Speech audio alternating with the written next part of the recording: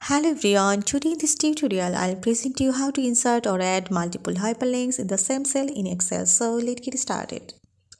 I open Microsoft Excel and these are the links I have to create it and I want to add these all links in the same cell like as this is.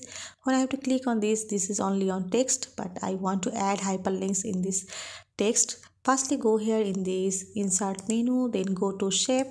Now go here in a rectangle shape and now I create a rectangle in this first one like as Facebook and now go to in format shape to click on mouse right button. Format shape now go to infill and now go click on no fill so there is no fill again go to create another one. Like this is insert and shape.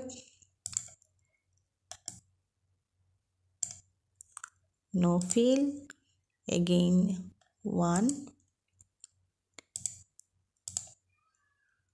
this is pinterest and now go to no fill another one.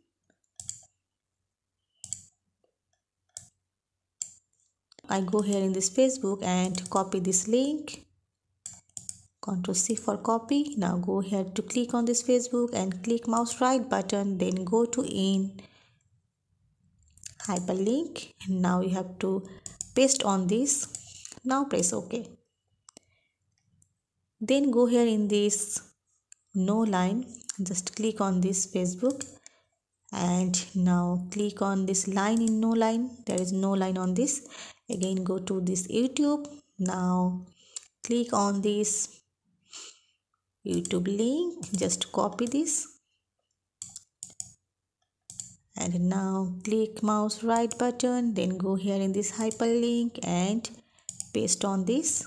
Now press ok and also no line. Go to this pinterest and copy this link.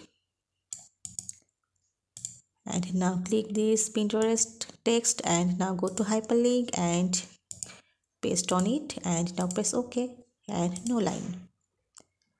Again this is no line with this link in twitter. So copy and paste on it in this hyperlink address now okay and no line now I create this link or hyperlinks in this same cell. Click on this Facebook text. You see this icon is to be changed in this hand tool. Click to this and it will be go on this Facebook. Again go to this another one. Just click on this Pinterest. It will be go to in this link in Pinterest. So in this way you have to add or insert multiple hyperlinks in the same cell in Excel. I hope you enjoyed this video. Thanks for watching and don't forget to subscribe my channel. Thank you.